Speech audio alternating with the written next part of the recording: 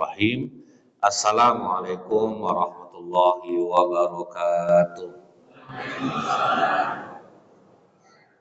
Alhamdulillah nahmaduhu wa nasta'in wa nastaghfiruh wa na'udzu billahi min shururi anfusina wa min sayyiati a'malina may yahdihillahu fala mudilla lahu wa may yudlil fala hadiya lahu Ashhadu an la ilaha illallah wahdahu la syarika lah wa ashhadu anna Muhammadan abduhu wa rasuluh. Allahumma salli wa sallim wa barik nabiyil karim wa ala alihi wa sahbihi ajmain. Bapak-bapak pengurus masjid yang saya hormati, adim ulama, tokoh masyarakat, cerdik pandai, Bapak Ibu, orang-orang tua yang saya muliakan, Hadirin hadirat yang semoga kita semua senantiasa dirahmati oleh Allah. Tidak henti-hentinya kita selalu mengawali dengan ucapan Alhamdulillahirrahmanirrahim bersyukur atas nikmat iman yang Allah karuniakan sehingga ringan langkah kaki Bapak Ibu menuju masjid, duduk menjelang waktu suruh, moga-moga Allah memberikan ganti dengan pahala yang berlipat ganda. Bersolawat kita kepada Rasulullah Sallallahu Alaihi Wasallam dengan ucapan Allahumma salli ala Sayyidina Muhammad wa ala ali Sayyidina Muhammad. Semoga Allah ringankan lisan kita ini untuk bersolawat sehingga kita mendapatkan syafaat di akhir kelak. Melanjutkan kajian kita Sirah Nabawi dalam kitab Bilik-Bilik Cinta Rasulullah karya Dr. Nizar Abasah. Ketika Rasulullah Shallallahu Alaihi Wasallam akan menikah dengan Ummul Mukminin Khadijah. Di situ mulai terjadi perdebatan antara paman-paman Rasulullah. Karena kata paman-paman Rasulullah, kau tuh masih sendiri Muhammad, kau masih bujangan. Sementara Khadijah itu janda kaya nanti kau akan dikatakan orang ingin memploroti hartanya. Jadi dugaan seperti ini dari zaman Nabi itu sudah ada Pak. Kalau ada anak muda mau nikah dengan janda, nah itu pasti asumsi orang anak muda ini akan memploroti harta janda kaya ini. Kalau selain Rasulullah rasanya benar Pak. Nah, kalau lah mungkin ada anak bujang mau sama janda gitu Bu ya janda ini kaya lagi. Memang biasanya seperti itu Pak. Rupanya itu yang dikhawatirkan oleh keluarga Rasulullah. Ternyata Rasulullah tidak main-main Pak. Aku punya uang untuk meminang Khadijah. Dan mas kawin Rasulullah itu bukan sedikit Bu. 200 ekor unta Pak. Jadi banyak tabungan Rasulullah itu. 200 ekor unta kali 36 juta aja lah Pak sudah berapa miliar kata Bapak? Jadi Rasulullah tuh ngasih mas kawin tergantung kemampuan. Di Indonesia ini kadang Mbak yang sedih itu asal nikah mas kawin seperangkat alat sholat eh terus baik perempuan Indonesia ini. Coba lah Pak, dibelikannya telekung yang 30 ribu yang parasut nggak bisa distrika tuh Pak. Itu itu sejadahnya yang 25 ribu tuh yang licin loh salah-salah sujud terantuk kepala kita. Dia sujud berjalan nak sejadah tuh pak saking licinnya tuh mau juga itulah baiknya perempuan Indonesia ini. jadi maka jangan bawa kelakuan betul lah pak. Beruntung kita nih pak. Sempat di Mesir bapak tak kawin tanda sampai sekarang. Karena mas kawinnya termahal di dunia Madinah, Mesir, Mekah itu mas kawinnya mahal rumah, mobil, Pokok sampai tua lambai-lambai tangan aja lah tuh Pak. Itu mahal ya. Makanya di Mesir tuh umur orang udah 60, 70 banyak yang tidak nikah karena mas kawinnya mahal. Jadi bapak baik-baik lah sama ibu ya Pak ya. Nah, belum seberapa apa yang bapak berikan tuh lagi. Ini ngasih 35 ribu, lauk minta dendeng lah kadang. Apa enggak pening kepala ibu dibuatnya Pak. Daging udah berapa harga sekarang? Kemudian setelah terjadinya pernikahan itu, Pak, maka seluruh usaha dari Ummul Mukminin Khadijah ini dipercayakan kepada Rasulullah dan sahabatnya Said bin Ibnu Said. itu sahabat Rasulullah selama berdagang. Jadi Rasulullah lah yang mengelolanya. Umul Mukminin Khadijah jadi bisnis owner. Jadi suami yang menjalankan. Tapi ingat Bu ya, kalau suami seperti Rasulullah, kalau enggak jangan Bu. Habis istri dibuatnya Pak. Karena kalau sekarang ini istri kaya, suami disuruh mengelola karena dia enggak bidang dia, akhirnya habis jadinya Pak. Kalau enggak bu, udahlah istri yang punya bisnis, nah dialah yang berkelakuannya dia, bertambahlah kepandaiannya pak. Istri ditambahnya kadang bu. Udah jelas itu harta harta istri. Selama Rasulullah berumah tangga dengan Ummul Mukminin Khadijah itu Pak, tidak ada satu hadis pun yang menerangkan Rasulullah pernah berselisih paham dengan Ummul Mukminin Khadijah itu tidak ada. Jadi Ummul Mukminin Khadijah itu begitu menikah betul-betul dia hanya mencari ridho suami. Pak.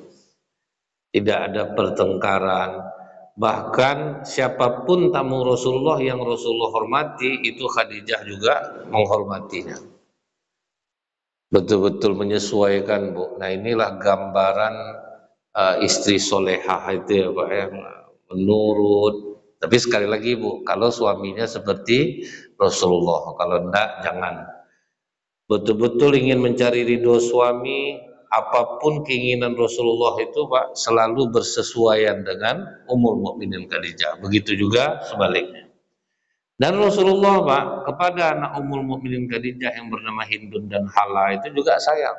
Jadi umur mukminin Khadijah punya dua orang anak dan Rasulullah pun menjadi ayah yang baik untuk kedua anaknya ini yang dari Ummul Mukminin Khadijah. Semakin khawatir Rasulullah melihat kondisi Mekah pada saat itu, Pak. Karena Bu, akhlak orang Mekah itu kan memang sungguh luar biasa, Pak ya. Mereka tidak bodoh dalam hal politik, sastra, perdagangan mereka cerdas. Cuman untuk agama aja, Pak. Mereka itu membuat sendiri Onta ada yang boleh dimakan, ada yang tidak. Kalau onta ini melahirkan 10 anak jantan, ah, maka dia dibebaskan makan apa saja tidak boleh dimakan. Jadi mereka buat sendirilah aturan agamanya itu.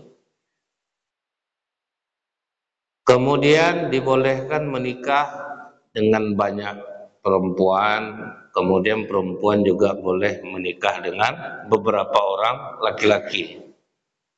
Jadi karena aturan yang mereka buat-buat ini terjadilah kekacauan di mana-mana.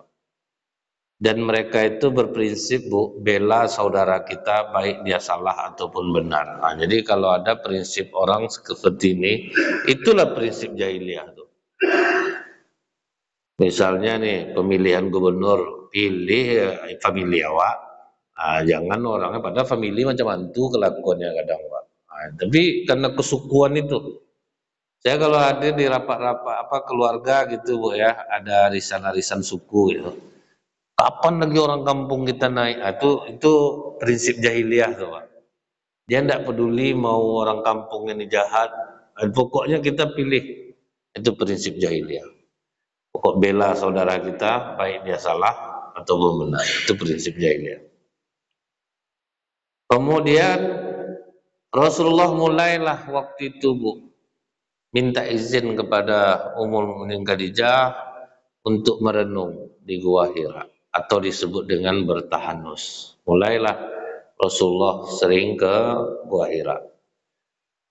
Ummul Mukminin Khadijah pun ngikut, disiapkan makanan Rasulullah, persiapan-persiapannya, berangkatlah suami. Jadi dalam sebulan ada sekitar tiga hari, merenung di sana. Karena dari Gua Hira itu nampak visualnya langsung Pak, kota Mekah itu nampak. Jadi merenung, berpikir sambil melihat apa yang harus dilakukan ini untuk masyarakat Mekah. Nah itulah kerisauan hati Rasulullah itu. Bagaimana orang bisa menjadi baik akhlaknya mulia, itu yang beliau renungkan. Ada kerisauan, jangan sampai orang tersesat. Makanya banyak pengurus-pengurus masjid itu berpikir dia betul bagaimana supaya masjid ini ramai. Itulah berat jadi pengurus itu Pak.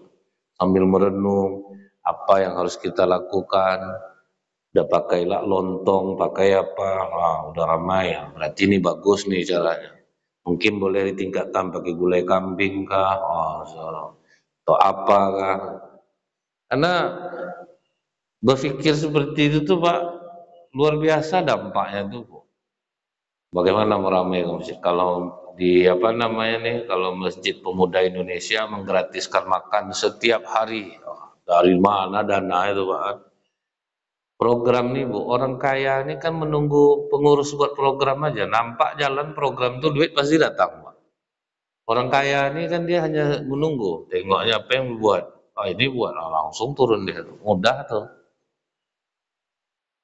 Karena pesona gulai kambing tuh Pak. Ingat saya masjid itu dulu mah pandau tuh. Ah, pas jadwal saya lah waktu itu Bu, dia sekali sebulan gulai kambing waktu itu. Sekarang enggak lagi. Ekonomi kan kadang macam-macam lah ya waktu jadwal saya tuh bu, hujan deras subuh tuh pak.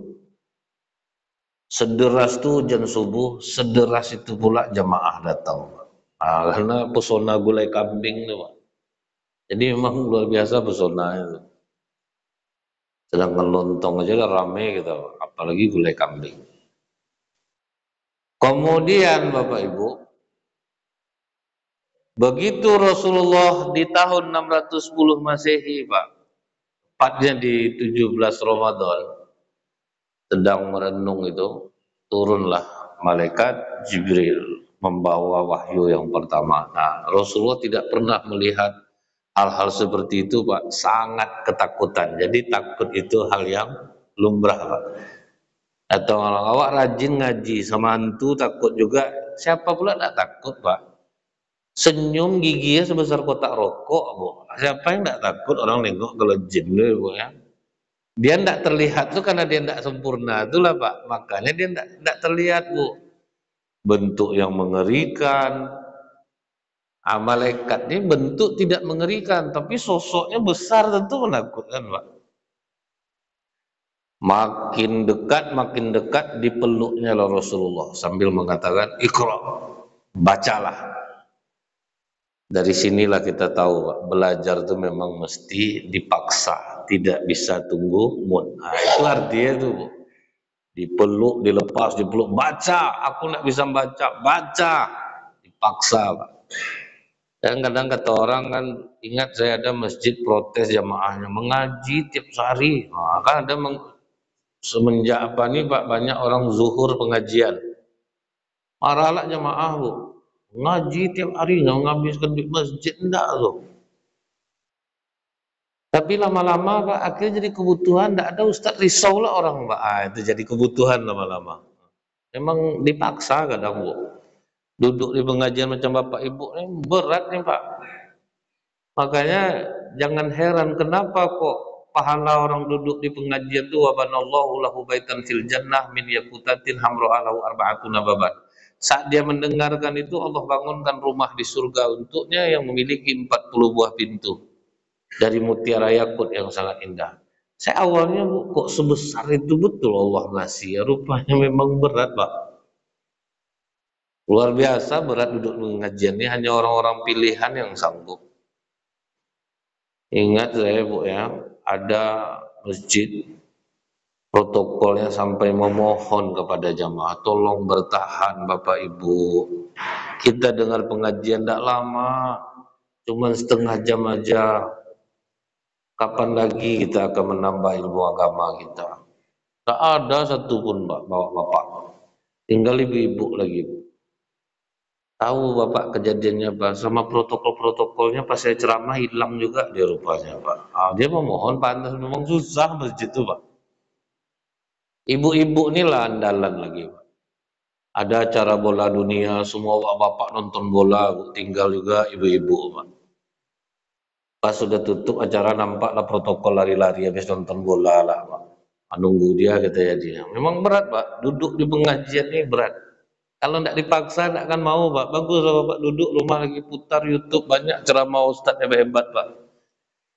Nah inilah tanda Bapak Ibu itu sudah masuk ke tahap tawaduk udah mulai rendah hati. Sebanyak itu seustaz yang hebat di YouTube mau juga dengar yang di masjid, ustaz lokal itu kan tanda bapak tawadu. Duduk pinggang sakit. Nah, waktu Rasulullah dipaksa itu akan disuruhlah mengikut jadinya, Pak. Iqra bismi rabbikal ladzi khalaq. Sebutlah dengan nama Tuhanmu yang Maha Pemurah. Sampai ayat yang kelima itu diikut oleh Rasulullah. Habis itu Pak, ketakutan Rasulullah yang teramat sangat menggigil badannya. Takutlah Pak. Rupa malaikat Jibril itu Bu, kalau dalam bentuk aslinya dia memiliki 600 sayap. Apa enggak takut tengoknya? Besar. Karena Rasulullah sudah trauma jumpa malaikat Jibril itu Pak, waktu Allah mengasih wahyu ke Rasulullah, itu akhirnya malaikat Jibril selalu nyamar jadi sahabat Rasulullah dan selalu seperti wajah al-bakhili namanya Pak, sahabat Rasulullah. Jadi dia menjelma jadi wajah sahabat. Karena Rasulullah masih belum bisa untuk melihat betul karena ada rasa takut lah. Bukan karena ngerinya Pak, karena melihat sesuatu yang tidak biasa. Larilah Rasulullah Bu dari Gua Hira itu turun ke bawah sampai di rumah memekiklah Rasulullah Pak. Khadijah, selimuti aku, selimuti aku. Khadijah tidak mengambil selimut, tapi langsung mengejar Rasulullah, dipeluknya Rasulullah. Hal inilah yang diceritakan, kenangan ini diceritakan Rasulullah kepada Ummul Mukminin Aisyah. Waktu aku menerima wahyu pertama Aisyah, begitu takutnya aku melihat Jibril dalam rupa aslinya. Aku berlari pulang ke rumah. Aku katakan, Khadijah, selimuti aku, selimuti aku. Khadijah tidak mengambil selimut Aisyah. Dia berlari, dia peluk tubuhku. Tentram jiwa aku rasa. Sakit hati Aisyah dengar itu. Udahlah tuan, muak dengar itu, itu, itu aja. Aku lebih cantik daripada Khadijah. Di antara semua istrimu, semua janda, aku sendiri yang perawat. Tapi apa kata Rasulullah? Tutup mulutmu Aisyah. Tidak satu pun di antara kalian yang bisa melebihi Khadijah. Dia benarkan risalahku di saat orang mendustai aku. Kemudian dia bantu aku dengan hartanya di saat orang tidak ada yang membantu aku. Jangan pernah kau berkata seperti itu tentang Khadijah. Inilah kelebihan Rasulullah ya sekalipun istri sudah meninggal tetap dibela.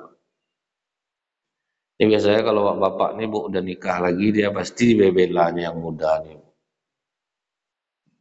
Enak adek bikin kopi deh, tidak sama sama mendiang kakak dulu. Mendiang kakak kan untuk pahit bikin kopi naik asal lambung abang deh bos.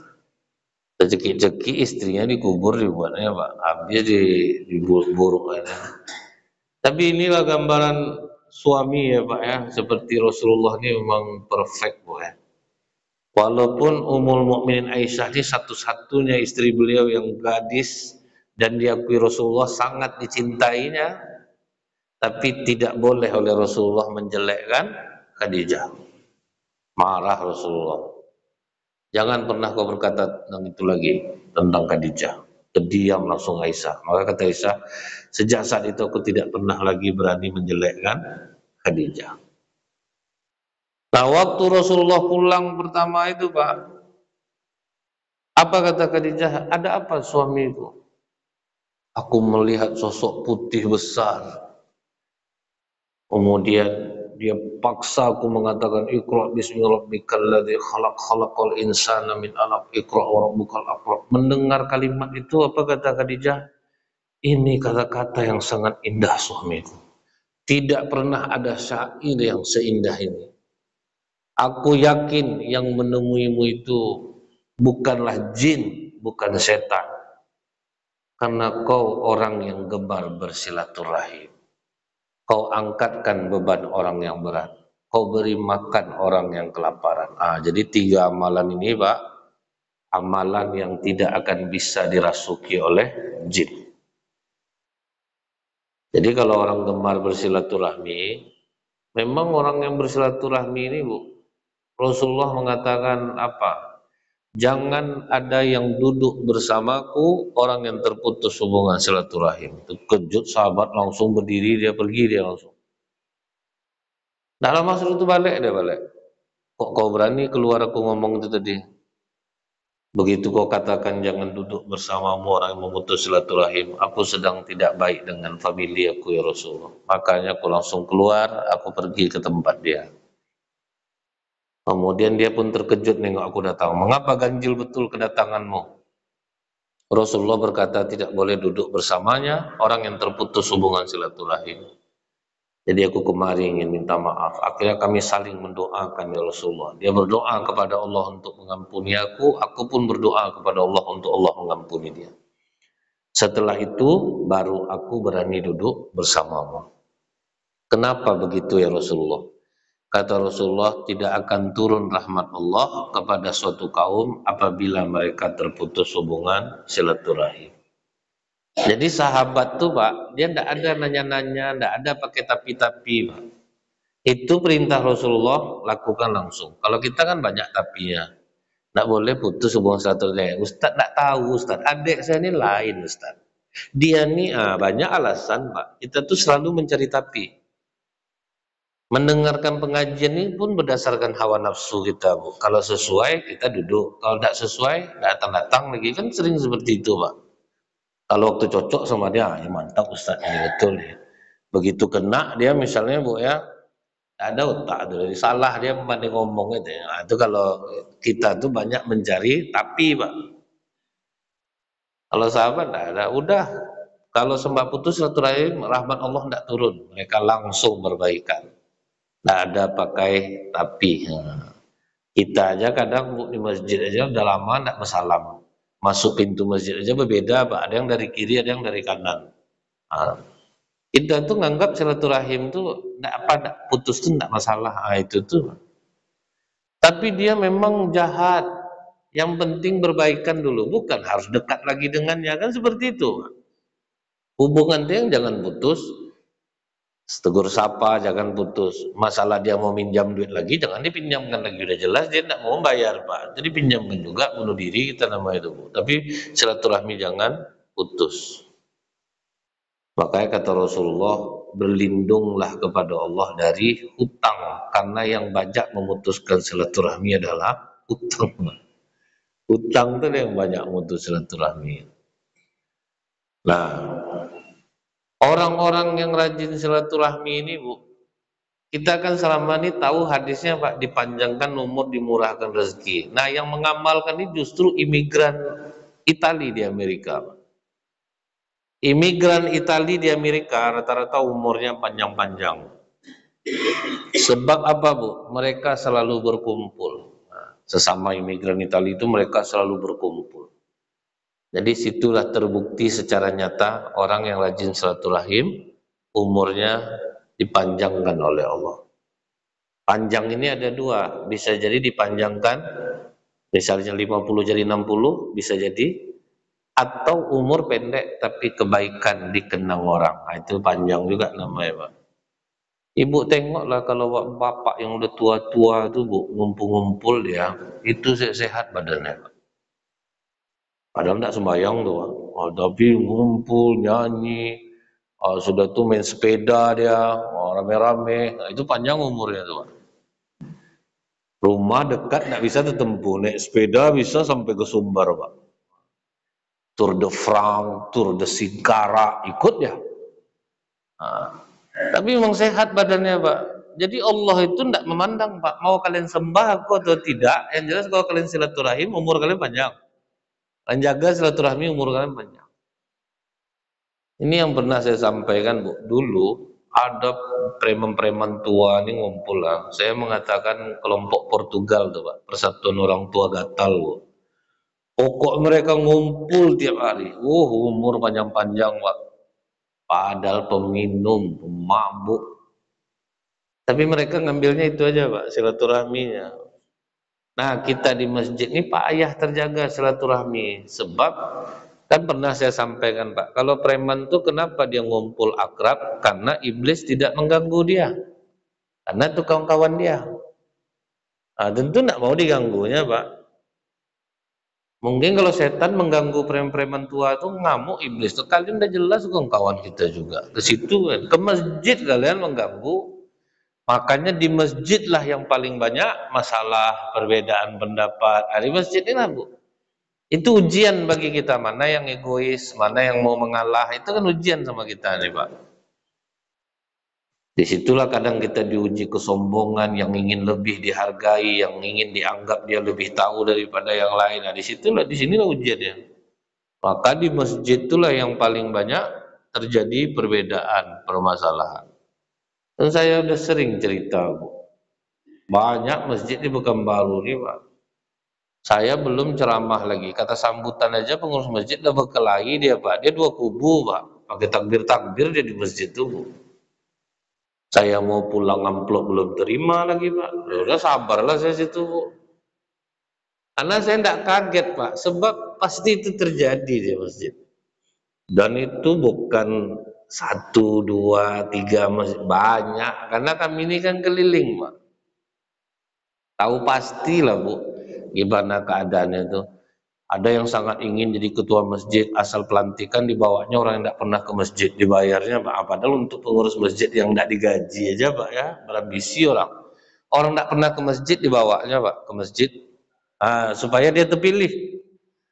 Ah, berapa ngerinya tuh Pak. Saya karena itu tidak terjadi di sini makanya saya, saya berani ngomong.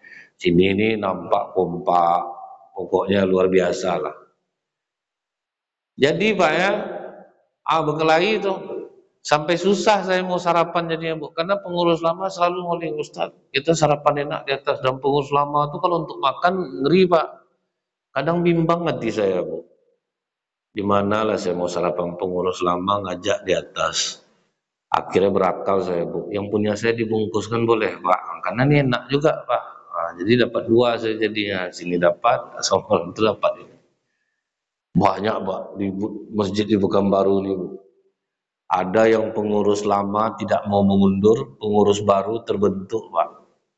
Pengurus baru ngundang saya, pengurus lama ngundang Ustadz lah. Berdua-dua lah kami datang subuh tuh, Pak. Terbayang nggak Bapak bentuk kami itu, ah? Nampak betul nyari amplopnya, Bu. Nampak terduduk aja berdua gitu.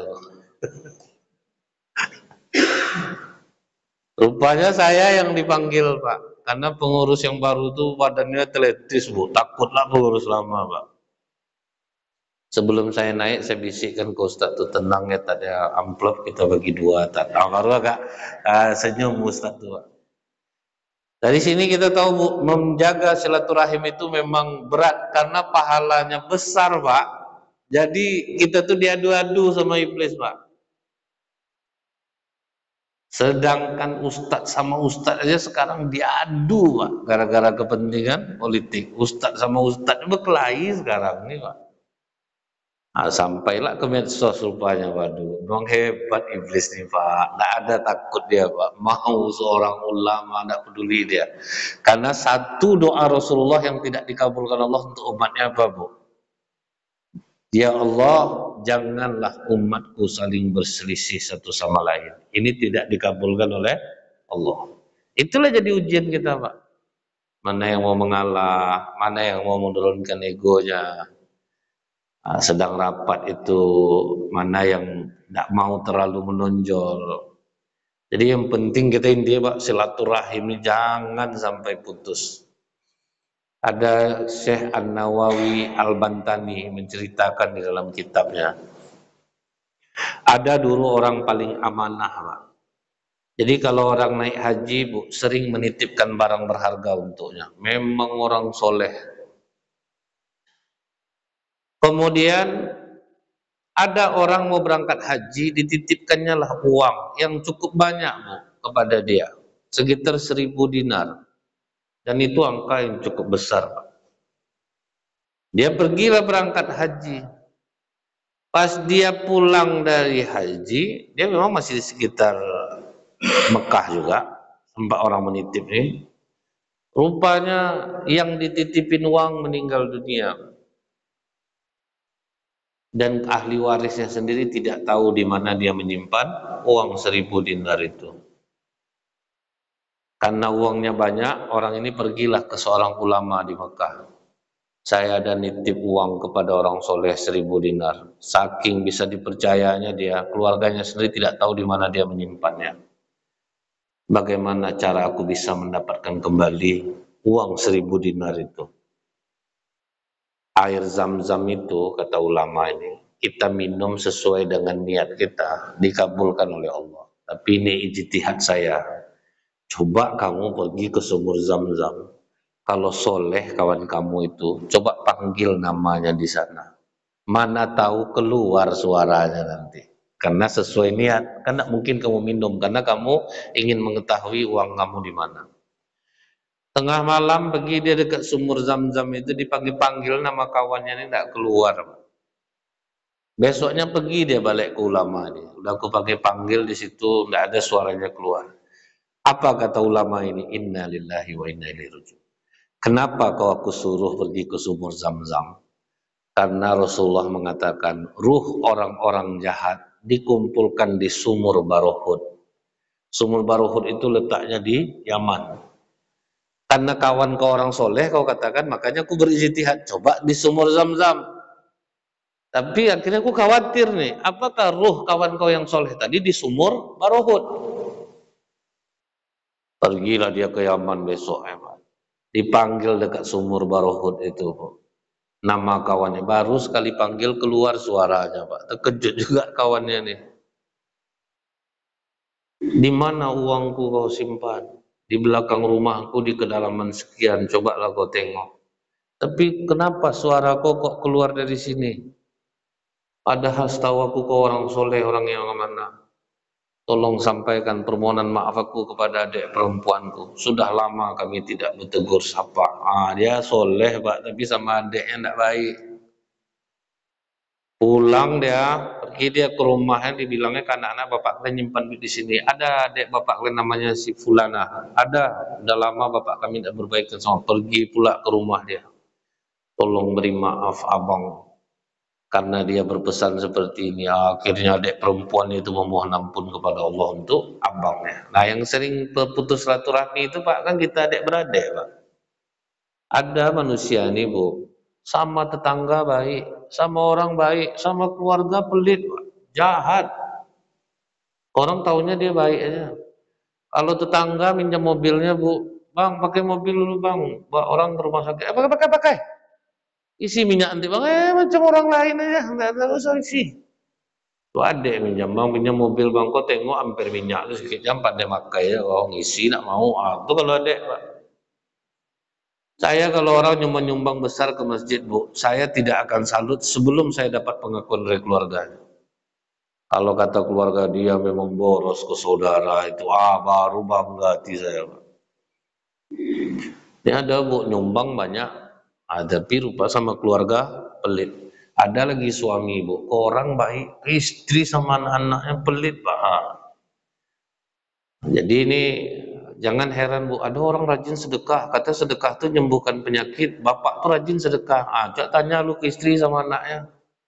Di rumah dia boros juga enggak sama istri sama anaknya, sama keluarganya dia gimana, boros enggak?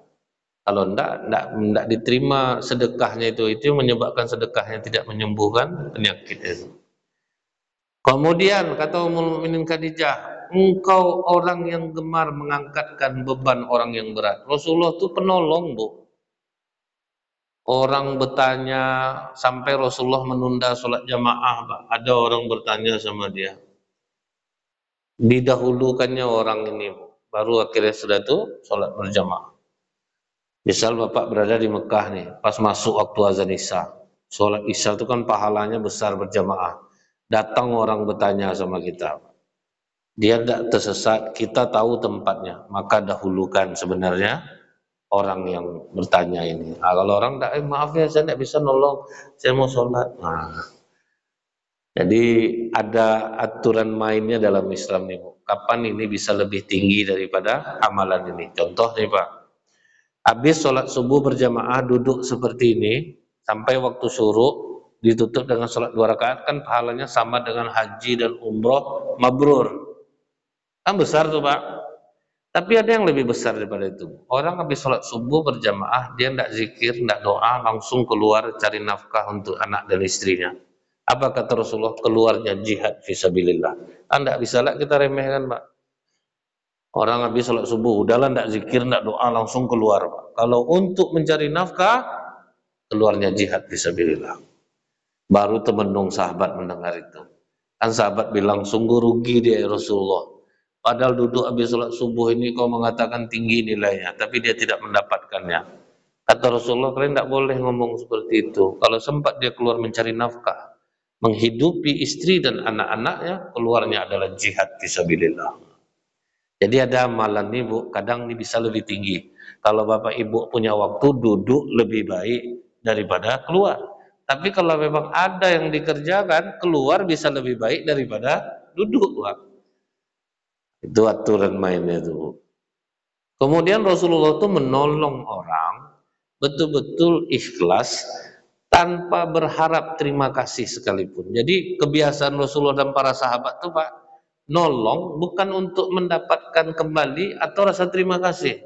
Kalau kita kan nolong orang, Pak, kenapa tidak tolong lagi Bu? Tidak tahu terima kasih. Nah, kalau kita masih butuh Pak, terima kasih orang.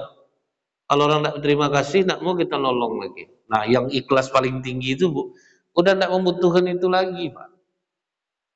Mau orang berterima kasih, tidak, asal susah dia bantu. Karena kita memang akan berhadapan dengan manusia yang tidak ada rasa bersyukurnya. Memang ada, Pak. Orang yang tidak punya rasa terima kasih itu memang ada. Kadang dikasih dia segini cuman ya Pak. Ah, itu kan terkena hati kita. Oh ya segitu bisa. Memang kita akan dipertemukan dengan orang-orang yang tidak berterima kasih. Tapi jumlah itu tidak banyak Pak. Jauh lebih banyak orang yang berterima kasih. Dibantu daripada tidak. Nah, baru itu yang membuat Rasulullah itu lapang jiwanya. Di masyarakat aja kita, Pak, kalau sering membantu, itu aja udah sayang masyarakat sama kita. Ibu tetangga ibu masak-masak, ada hajatan di rumahnya. Dia minta tolong sama ibu. Waduh, itu pahalanya besar, Bu. Itu tidak bisa ditembus jin kita dibuatnya. Selama ibu tidak minta dibungkuskan. Tapi kalau ibu minta dibungkuskan, habislah. Kadang kan ada orang nolongnya kan berharap pula dia, Pak. Sudah dia masak, sudah itu tidak dibungkuskan sama tuan rumah. Itu cerita nanti di pengajian. Tidak ada otaknya kak. Sebanyak itu ditolong masak. Tidak ada terbungkus sedikit pun. Jadi kadang ah, itu tuh yang repotnya tuh pak ya. Nolong itu tuh tidak tulus. Kita akan merasakan pak. Setiap kali bapak ibu tulus nolong orang. Waktu kita belum kenal duit masuk pak. Itu kan enak hidup kita pak kita tahunya dari dulu tuh nolong orang aja. Tapi kan kita mulai jahat setelah kita tahu angka, Pak. Nah, baru kita perhitungkan nolong orang. Nah, bisa nolong-nolong itu. Nah, padahal hidup sebelum kita tahu hitung-hitungan itu jauh lebih enak, Pak. Misalnya nih Bu ya, kami ustadz-ustadz nih lah. Kalau sempat kami tidak kenal hitung-hitungan, Pak, damai kami pergi ceramah tuh, Pak. Semenjak tahu hitung-hitungan lah, makanya keberkahan dicabut oleh Allah. Kan sekarang ada pula Bu, jarak tempuh berapa, minyak mobil berapa. Setelah dihitung-hitung seperti itu justru makin tidak bagus Pak. Makin susah jadi. Jadi jangan kira ustadz-ustadz yang pakai-pakai uh, apa namanya Pak rider istilahnya, permintaan-permintaan khusus. Saya mau ceramah ke sana, pesawat saya bisnis kelas, hotel saya ini itu. Saya yakin Pak, tidak akan enak hidupnya Nah, tapi kalau kita tidak mengerti hitung-hitungan dulu Pak, ke mana aja Pak, tidak ada peduli. Dan itu bahagia rasanya. Hidup itu berkah. Hidup berkah itu beda Bu, tidak masalah angka dia. Kalau hidup berkah itu kan tidak masalah di angka Pak. Dia sedikit tapi membahagiakan Pak. Waduh itu tidak ada, tidak bisa dinilai dengan uang kebahagiaan itu. Nah, itu ya Pak ya. Kemudian yang ketiga, kata Ummul Mukminin Khadijah, engkau beri makan orang lapar. Memberi makan orang lapar nih bu, bentuknya sepele pak, tapi pahalanya besar. Ada orang cerita sama saya, saya udah sumbang karpet ke masjid, istri saya masih sakit juga pak. Saya bilang kita sedekah tuh harus tepat dan dibutuhkan. Sedang karpet yang ada aja tuh gulung-gulung di masjid tuh dikasih lagi karpet, itu tidak terpakai sama orang. Bisa modal 15 ribu aja bisa sembuh sakit istri kamu tuh. Kamu cari orang lapar, kasih dia makan, kasih dia minum. Modal 25 ribu. Coba tengok dampaknya. Dalam Islam ini kan tepat sasaran. Itu yang cepat uh, kena ke kita Pak. Efek positif itu cepat tuh. Kalau tepat sasarannya langsung tuh Pak. Jadi ngasih makan orang lapar tuh Pak memang luar biasa Bu. Apa kata Rasulullah? Ma min muslimin yutimu akhuhu hatta yusmi'ah wa yaskihi hatta yurwiyah illa ba'dahu Allah ta'ala minan nar. Kasih satu orang makan orang lapar, kasih dia minum sampai dia puas, tidak ada balasannya kecuali dijauhkan dari neraka. Modal kecil, tapi tepat sasaran. Ini dikasih orang-orang yang tegak-tegak di jalan. Kadang nasi kotak ada tiga tiap Jumat tuh Pak. Tidak ada gunanya Bu. Kan orang sering itu pergi dia ke Jalan Ponegoro, nampaklah orang tuh. Kadang orang tuh udah, udah banyak dikasih orang makanan, Pak. Jadi mencari orang lapar tuh bu, memang kita yang mencarinya. Karena orang miskin dalam Islam ini, dia susah, tapi dia tidak mau meminta-minta. Makanya dicari, Pak. Beruntunglah di setiap RT tahu dia warga miskinnya. Nah, kan udah tahu kita orang-orangnya itu, Pak. Jangan dipikirkan dia tidak sholat, dia itu tak berjihad. Tidak usah itu dipikirkan. Yang jelas dia susah, pantas untuk dibantu. Tidak usah dipikirkan dosa orang itu tidak urusan kita. Yang penting sedangkan anjing aja dikasih minum sama pelacur diampuni dosanya, Pak. Kadang kita ini urusan pribadi orang itu masuk lah kita ke situ. Tidak usah itu itu yang jelas dia susah dibantu dia. Nah kemudian Pak, setelah tiga hal ini disampaikan oleh Mu'minin Aisyah dan memberi makan orang lapar ini memang terbukti Pak ya, dahsyatnya itu Bu. Di masa Nabi Isa alaihissalam ada orang yang sangat dibenci oleh masyarakat Pak. Sampai masyarakat mengadu kepada Nabi Isa, memang mudah-mudahan mati aja lah di Isa, payah betul ya. Nabi-nabi pada masa lalu kalau umatnya meminta, Bu, selalu dia doakan. Jadi waktu itu umatnya minta orang ini dimatikan aja. Cuman Rasulullah yang tidak membolehkan kita doa untuk minta celaka kepada orang lain. Kalau Nabi dulu kan minta disegerakan turun azab kepada umatnya dan itu memang wajar bu karena memang udah parah. Jadi Nabi Isa itu bermohon supaya orang ini dimatikan saja. Tapi sampai besok masih hidup juga orang itu. Akhirnya penasaran Nabi Isa coba panggil dia. Pas dipanggil dia, Pak, apa yang terasa sama kau semalam? Aku merasakan perut aku kenyang aja, padahal aku ada bawa rantang untuk aku makan. Tapi kenyang aja perut. Jadi kau tidak jadi makan? Enggak. Coba buka rantang kau tuh. Kenapa rupanya bu di rantang itu ada ular yang sedang dirantai. Jadi seharusnya dia itu mati diterkam oleh ular saat dia membuka makanannya. Tapi ular itu dalam rantang itu posisinya terantai, tidak bisa menggigit dia. Jadi inilah membuktikan bahwa memberi makan itu bisa menyelamatkan jiwa kita. Jadi jangan pelit-pelit bu. Cuman kalau ada sarapan janganlah beli lebih lah bawa pulang. Ini kadang dibawa dua, tiga, nak dapat lah orang ini pak jadinya.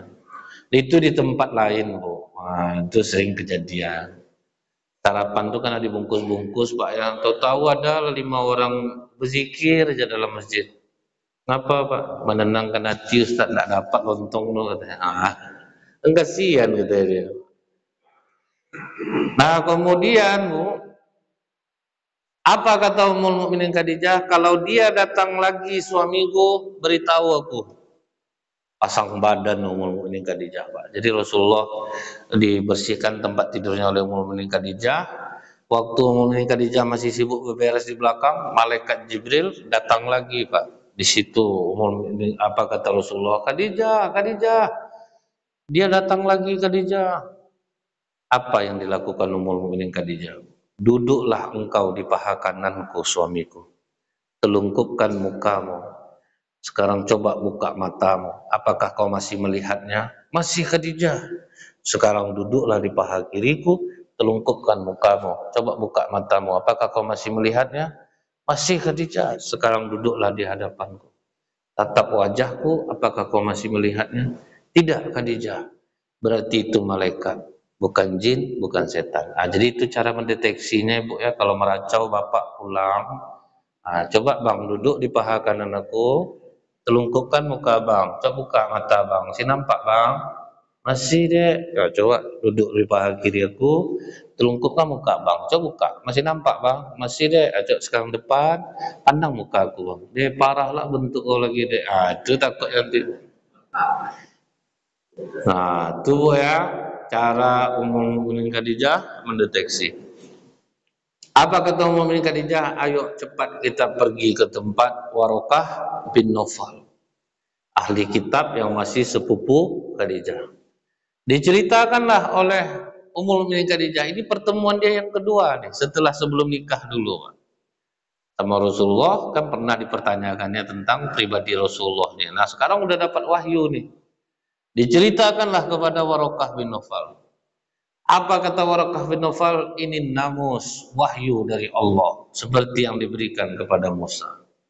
Selamat sepupuku, aku akan membersamai perjuanganmu ketika engkau diusir oleh kaummu.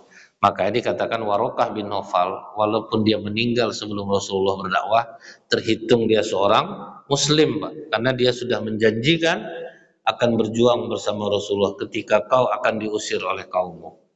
Begitu mendengar akan diusir itu, Bu, apa kata Ummul Mukminin Khadijah?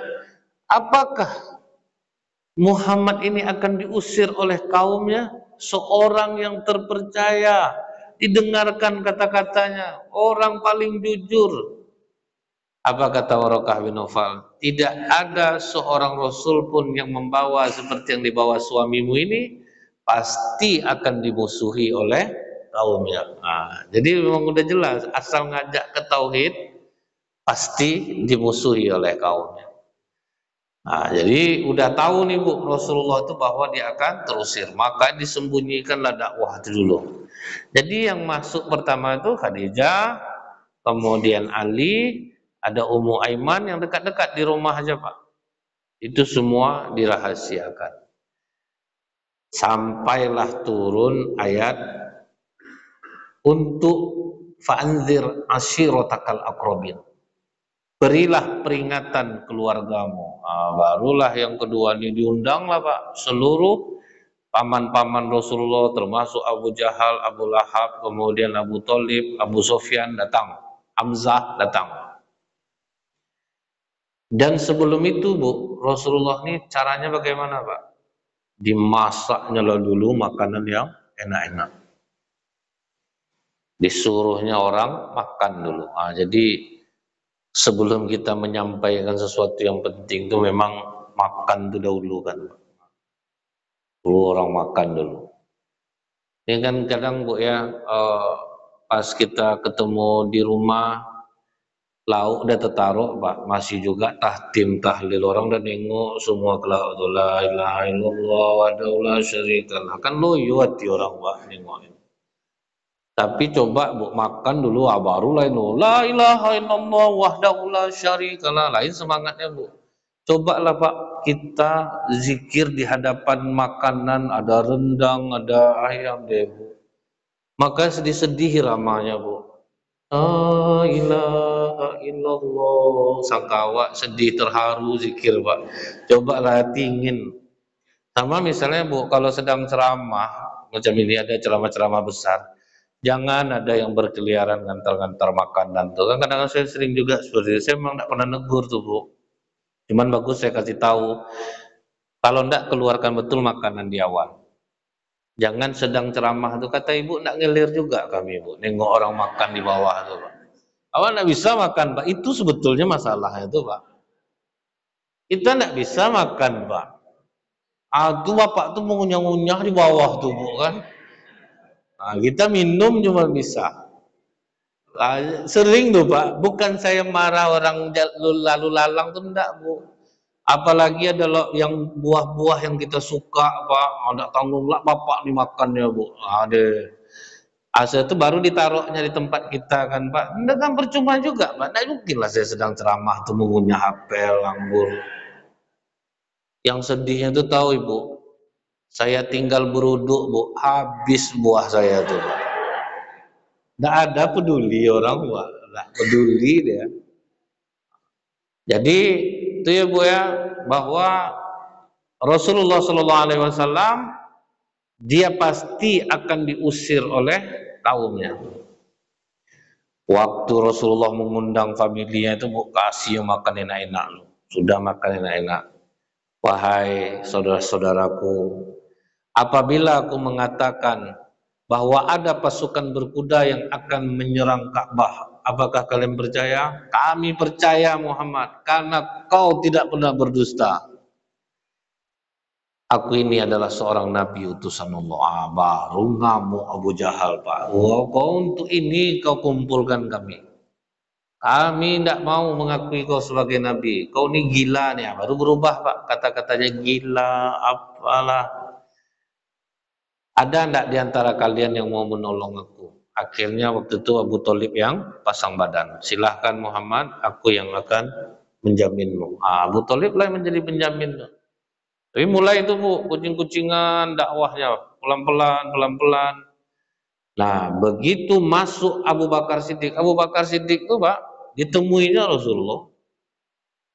Muhammad, kaukah yang mengaku dirimu Nabi? Iya Abu Bakar. Tolong beri aku bukti bahwa kau seorang Nabi. Apa kata Rasulullah? Bukti ini adalah mimpi yang kau ceritakan kepada seorang rahib Nasrani ketika kau berdagang di Syam. Langsung dipeluk oleh Abu Bakar Siddiq. Sebab apa Pak?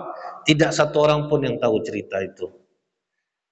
Rasulullah pun itu hanya Allah yang menyampaikan Bu.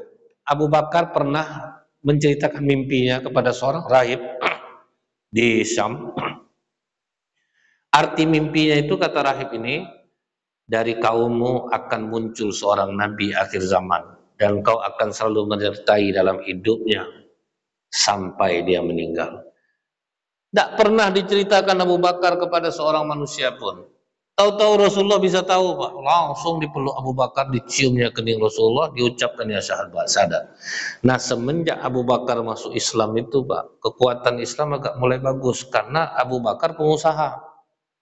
Kalau orang kaya Pak yang ngomong pasti didengar orang Pak. Sedangkan terkentut aja orang kaya ini Bu termotivasi orang Pak. Nggak usah dia ngomong lagi. Kentut aja dia Bu semangat orang dengar. Nggak usah dia ngomong lagi kan. Memang itu pengaruh di masyarakat Pak. Kalau kita kaya, omongan kita didengar orang. Rasulullah pun tahu Pak, maka Abu Bakar yang mendakwahi Utsman bin Affan Abu Bakar Siddiq. Eh, kemudian Tolha Abu Bakar Siddiq. Jadi mudah-mudahan hmm, sampai di sini dulu. Uh, lebih kurang saya mohon maaf. Subhanakallahumma bihamdika asyhadu an la ilaha illa anta astaghfiruka wa atubu ilaik. Assalamualaikum warahmatullahi wabarakatuh.